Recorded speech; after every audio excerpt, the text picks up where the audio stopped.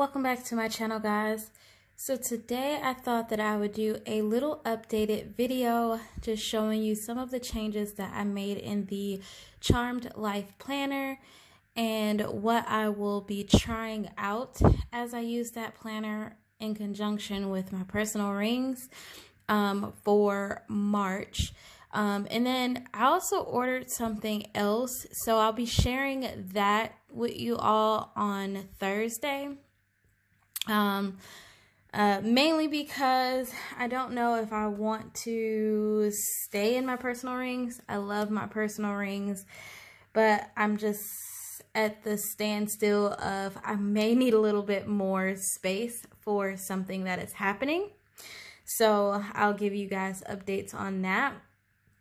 Also, I just wanted to show you guys my pre-decorated, um, currently in the progress of being filled out weeks and dailies. Um, so let's get into the video. So I'll do this one really quick, um, mainly because it's like, it's here, it's open. Um, so earlier last week, I had got this bright idea to kind of like do meal planning in these little boxes here. Um, and I don't know if you guys have watched my other videos, but you know that I already pre-decorated these spreads. So this is this week. And I did do a smaller box here with uh, just the meal plans in it. But I thought because that they're lines and these are divided down the middle, that um, instead of doing the same thing for next week, um, that I would just do it on one of the boxes at the very top um, because I don't really put too, too much in the weekly. So I thought that I would do like my meal planning in just one of the boxes and then just color code it out. So that's the only change with the weekly spreads that I have. Um, nothing's in here right now. Mainly, like I mentioned, I don't put a lot in here. It's pretty much just like a catch-all. I just put the main things that I want to um, do or, or things that have to be done. I put those in here as like key reminders. But other than that, nothing um, outside of that goes in there. Um, for my dailies, um, I'm still doing the same thing. This was yesterday. If you want to see what last week looked like all finished out, um, definitely loved the whole sticker thing. I thought that was fun. This uh, was one of the spreads. I don't think you guys saw this spread, but this was one of the spreads.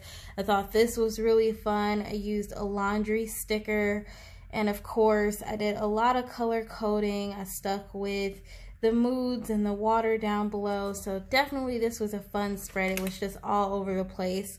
And if you know me, you know that's um, what I like to do. And then of course my birthday, I didn't have anything going on except for my husband took me out. Um, we went bowling and then we went out to uh, dinner and we really didn't eat dinner because we had ate at the bowling alley. So we really just went there for like appetizers and drinks. But then something special happened.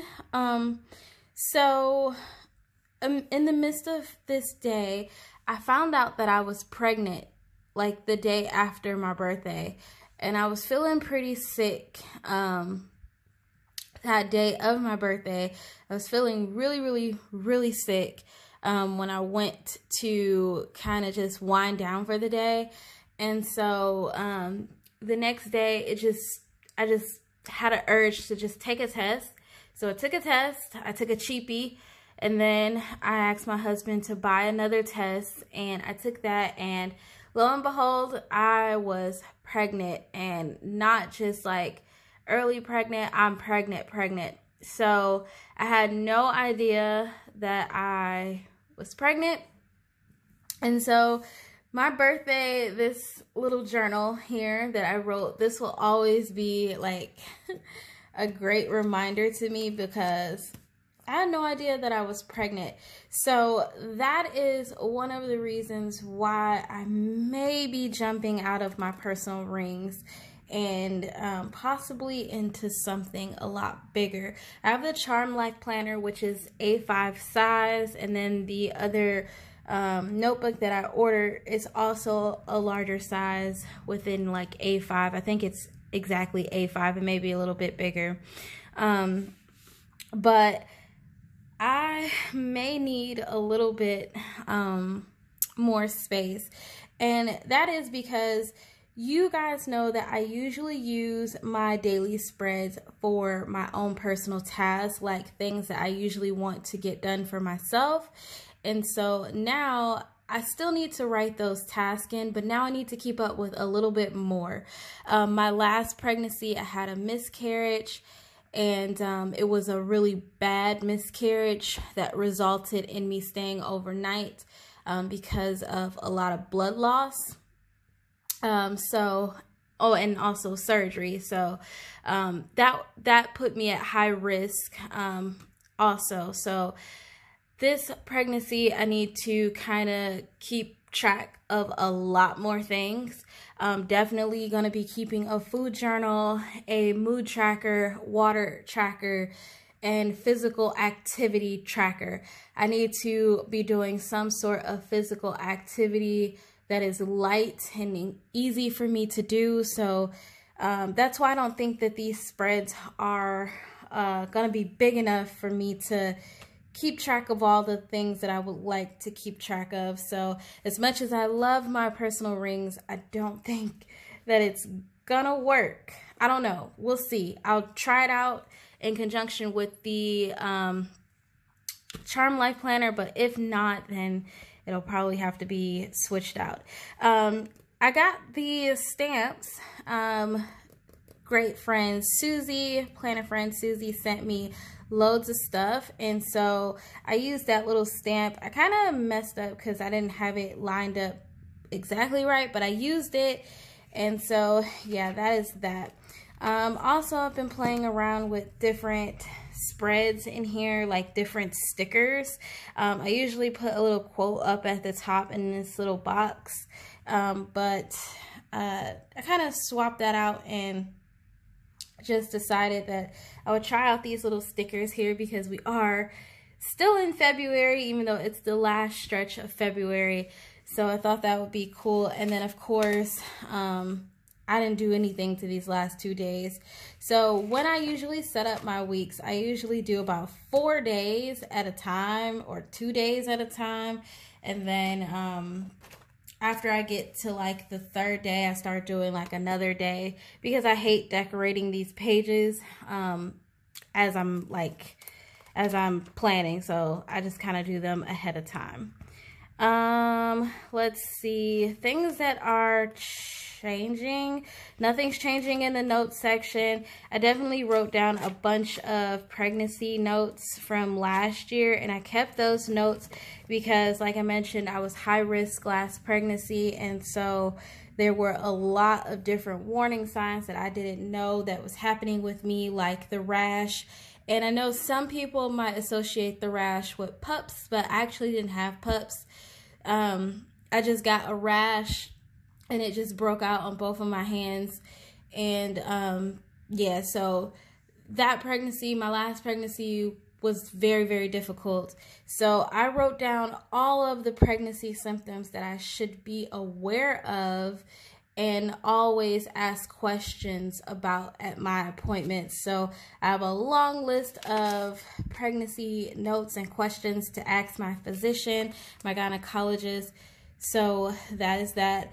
Um, sad to say that this will probably be obsolete because this was all of the insanity workouts and you obviously can't do um, HIIT workouts when you're pregnant, not like insanity where they shoot your heart rate up really, really fast. So um, Zumba is great. Dance workouts are super great. So I think that um, I'm going to be changing out, blocking out these and just starting like a different schedule of workouts for like Zumba, easy pregnancy workouts, walking, things like that. Um, and that's where my project sheets will come in play. Um, so that's the only updates that I wanted to give you guys in terms of my personal rings. Just going to set that to the side. So I kind of went in and changed a couple of things in here. The only thing that I've added to these pockets is I added a little food journal um, when I go to WIC um, because we do get WIC overseas. So when I go to WIC, um, they like to uh, know what I'm eating. So I need to kind of follow a healthier guide than last time because last time I definitely ate um, whatever I can stomach and I mostly craved red meat a lot when I was pregnant last and I craved um I craved uh noodles, ramen noodles and those were literally like the only things I could stomach along with McDonald's. And I know that's not healthy that's not good for you so I will definitely be keeping a food journal. Um, as you can see the size is a lot bigger. Uh, there's a lot more space I can definitely use. Two pages per day. Um, I may be running out of this notebook faster but I can always replace that um, this was fairly inexpensive notebook on Amazon, so I can always replace it, but I'm thinking this may be the size that I need. Um, I did create a little, well, like a pencil board, so to say, because I don't have one, and as you can see, if you, like, leave something up against this side, you really can't write on it, so I created a little pencil board so that I could write on this side, so that's what this is, and it just sits like in the middle of the book, really. Um, but let's get into what we really are here to discuss, and that is the changes that I am making to, or I've made to the Charm Life Planner. So as before, I had my writing up here. I kind of covered that up with some label stickers. Um, at first I used a regular just white label, but you could still see my writing through it. So I went over it again with a like shinier label that I will just kind of stamp something in there. Um, and then again here, I use a decorative label. So that is that. Also, if you use like any markers on this planner, because I think this is important for people who don't like um, paper like this. And this isn't like super super high quality paper. It's just regular paper for you to use with a ballpoint pencil. But if you don't like um, bleed through or even a little bleed through I don't suggest using like um, super pigmented markers. Maybe just use a highlighter and just go over something once. Don't like try to color in and go over something like twice because um, definitely you will see it through the sheet like right there. That is like a little mark from marker. Um, I actually went through and changed my monthly layout. As you can see, it looks a lot different from the last time that I showed you. The washi tape that I originally had in here, as cute as it was, it just was not staying down. Um, so I just took that off and put the owls down. I actually like the owls a lot better, to be honest with you. I also had my handwriting up here. I did the same thing with the uh, label. Originally had a white label, but you could still see my handwriting through it. So I put down a, another uh, like decorative label on it. And then I use these letter stamps um, to kind of like put in like March, but I just abbreviated. Um, this was not intentional. I did not intend to kind of just say or spell March like this. And I didn't intend for these borders, these square borders around the words, but I guess it was just how I pressed down and then also the spacing. So it's there. I can't change it. I refuse to change it. So it's there. It's done. Um, I took off the number stickers. When I would run my hand across the page to kind of flatten this out and keep it straight, because as you can see, if you don't kind of like crease at this, it will not stay exactly flat.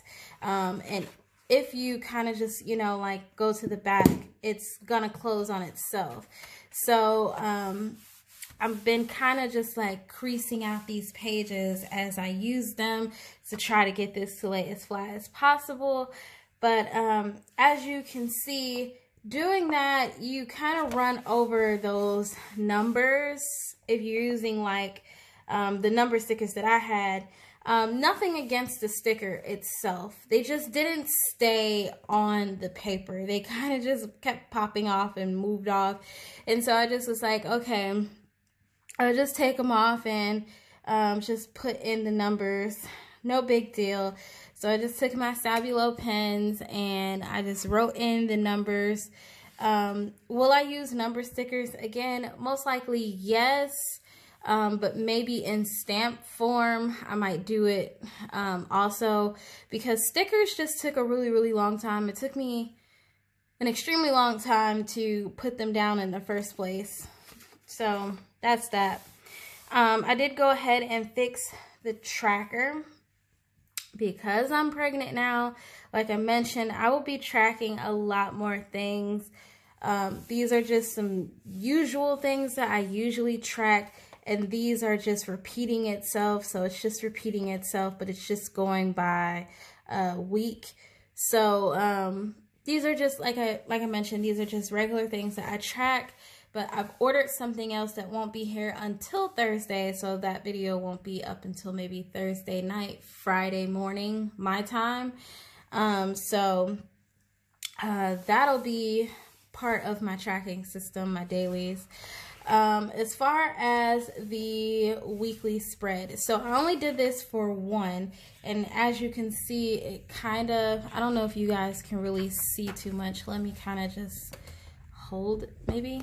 I don't know. I'm on my windowsill because um, this is the only lighting that I have. I don't know if you can kind of see that, but you can kind of see like my drawing, my marker um, behind the page. So um, I don't know if I'll do this all the time, but uh, I have this in here. And this was mainly me just trying to figure out how to really maximize these weekly spreads. Now, I am not extremely fond of a vertical layout. I've always used a horizontal layout, um, but I'm not, you know, new to the vertical layout. It's just a little tricky using it. What I don't like um, with the Charm Life Planner, and this is why I kind of bought something else um, in conjunction to this. But what I don't like is the fact that Saturday and Sunday are split. So if I decide to do these little weather and mood and dinner um, trackers in here for each day, you kind of lose space to write down like tasks for that day or things that you would like to remind yourself of for that day. So it's almost critical that you have something else in conjunction with this when you're using this particular planner because Saturday, if you're like someone who gets a lot of things done on a Saturday and Sunday, you're going to be really upset because there's not a lot of space for Saturday and a Sunday in here to kind of, you know, write down a list of things like Monday through Friday is. Um, but yeah, that is the only other change that I made to this planner besides changing the monthly up a little bit. Um, I just put my regular water um, droplets with the weather in there. Um, I just do the same thing for each droplet. I don't try to write um, or I don't try to really draw like rain droplets or anything like that. I just write what the weather is. And usually in my personal rings, I would write something like it rained today or um, it was windy. I usually do that, but for the most part, there's not like a ton of space. So I just really need to write the temps in there. Um, if I'm using a daily spread, I can always, you know, elaborate what the weather was like. I also have the moods in here because like in the daily, um, I like to track the moods. I like to see what my mood is like. And lately I've been really, really, really tired and like out of breath, as you can probably tell. I'm out of breath right now. and I'm just talking. But this is the only change that I've done. Um, like I mentioned, when Thursday gets here and I get the other notebook and I kind of get that one like all situated, squared away, I will um, share that one with you all too. But for the most part, these are the only things that I have set up. I do have my journal. I haven't written in it in like a couple of days. Um, it's kind of like my catch-all right now. Not a catch-all, like a commonplace notebook. I've been doing like a lot of glued in pages, painted pages, lots of that. And when I don't feel like painting, this is what it looks like. Um, pages that don't make any sense at all. Like there's just random things happening. This is the last page that I did. And then there's nothing. And I didn't even write on this page. So that just tells you how I've been feeling these past couple of days. But that's my journal. Um, and that's all that I have to share with you all for today. I hope the update was a good one. If you liked the video, please give me a big thumbs up. And if you're new to the channel, welcome. I'm so glad to have you. If you'd like to subscribe, please go ahead and subscribe. Um, it would be great to have you join the fam. And also, if you're returning back, welcome back. As always, guys, thank you, thank you so much for watching. And you have a good rest of your Tuesday. Bye.